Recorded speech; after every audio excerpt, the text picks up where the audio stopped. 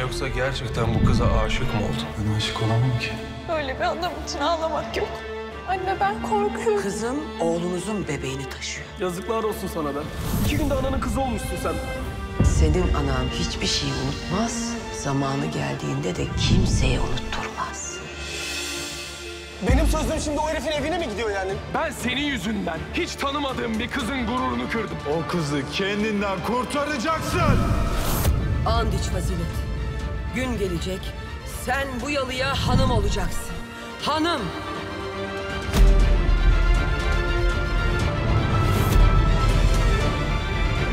Fazilet Hanım ve Kızları yeni sezon Eylül'de Star'da.